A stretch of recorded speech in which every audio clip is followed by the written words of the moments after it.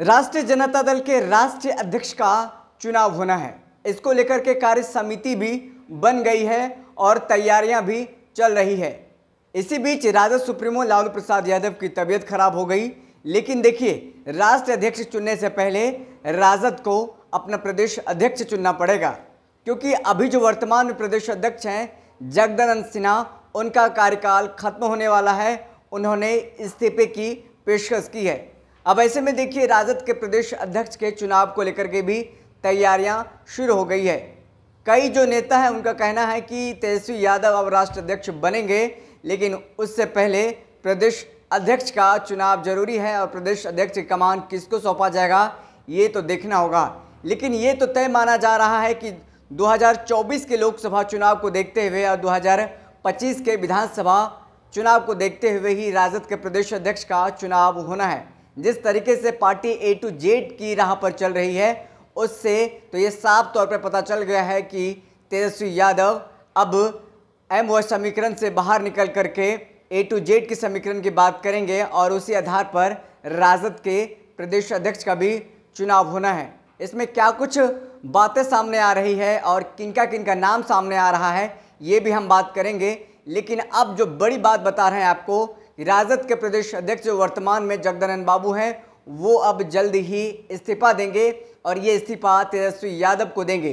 क्योंकि पार्टी की जो कमान है अभी, तेजस्वी यादव के हाथों में है। क्योंकि राष्ट्रीय अध्यक्ष लगातार बीमार चल रहे हैं, दिल्ली के एम्स में उनका इलाज चल रहा है और कई गंभीर बीमारियों से पहले से भी जूझ रहे हैं। और पार्टी तेजस्वी यादव के नेतृत्व में जिस तरीके से आगे बढ़ रही है, जिस तरीके से 2020 विधानसभा चुनाव में आगे बढ़ी और उनका लोहा राष्ट्रीय अध्यक्ष लालू प्रसाद यादव ने भी माना है और उन्होंने भी कहा है। बहुत अच्छी तरीके से तेजस्वी यादव ने 2020 के विधानसभा चुनाव में पार्टी को संभाला और पूरी तरीके से संभाल को भी संभाल रहे हैं। ऐसे में देखिए, अब तो बातें सामने आ रही है कि राष्ट्र अध्यक्ष चुनाव होना है अक्टूबर में और इससे पहले बिहार के जो प्रदेश अध्यक्ष हैं, वर्तमान में जगदन बाबू, उनका इस्तीफा होना है। उसके बाद नए प्रदेश अध्यक्ष का चुनाव होना है। अब कौन कौन हो सकते हैं प्रदेश अध्यक्ष? इस पर हम चर्चा करेंगे और इस पर हम बात करेंगे। आपको बता दें कि वर्तमान प्रदेश अध्यक्ष जगदानंद सिंह ने यह ज़िम्मेदारी छोड़ने की पेशकश की है कि वो इस्तीफा देंगे। जिसके बाद अब नए प्रदेश अध्यक्ष को लेकर दो नाम सामने आए हैं। जिन्हें बताया जा रहा है, उन्हें यह ज़िम्मेदारी सौंपी जा सकती है। जिन दो नामों को प्रदेश अध्यक्ष की कमान सौंपने की बात चल रही है उनमें तेजस्वी यादव के करीबी और विश्वस्त माने जाने वाले आलोक मेहता और लालू प्रसाद परिवार के हनुमान शिवचंद्र राम के नाम शामिल हैं। दोनों में एक दलित चेहरा है, एक कुशवाहा। और साथ ही साथ आपको बता दें कि दरअसल पार्टी के, पार्टी ऐसे व्यक्तित्व को प्रदेश अध्यक्ष बनाना चाहती है जिसका फ़ायदा आने वाले लोकसभा चुनाव और फिर विधानसभा चुनाव में मिले।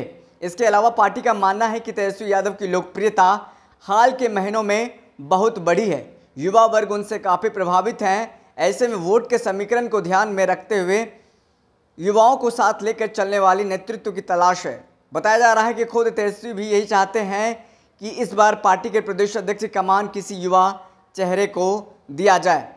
और गौरतलब आपको बता दें कि एक अभी राजद में सदस्यता अभियान चल रहा है, जो आगामी 15 जुलाई को समाप्त हो जाएगा। इसके साथ ही पार्टी के संगठनात्मक चुनाव की प्रक्रिया शुरू हो जाएगी। 13 अगस्त को राजद सदस्यों की सूची और 15 सितंबर को राज्य परिषद के सदस्यों की सूची प्रकाशित होगी। इक्कीस सितंबर को प्रदेश अध्यक्ष का चुनाव होगा माना जा रहा है। अपने प्रदेश अध्यक्ष के नाम की घोषणा करेगी। गौरतलब है कि वर्तमान प्रदेश अध्यक्ष जगदानंद सिंह की उम्र लगभग 80 साल के करीब पहुँच गई है, जिसके कारण अब वह पार्टी के प्रदेश अध्यक्ष की ज़िम्मेदारी छोड़ने की पेशकश कर चुके हैं। उनके साथ ही यह कोशिश भी यह भी है कि प्रदेश अध्यक्ष की ज़िम्मेदारी ऐसे व्यक्ति को दी जाए जो कि लालू प्रसाद के बड़े बेटे के साथ सामंजस्य बैठा सके।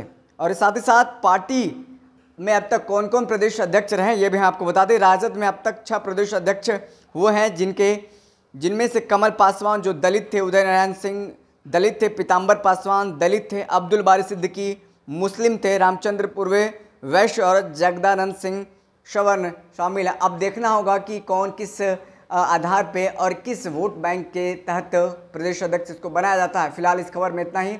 हमें दीजिए इजाज़त, फिर मिलते किसी बड़ी खबर के साथ। तब तक के लिए धन्यवाद।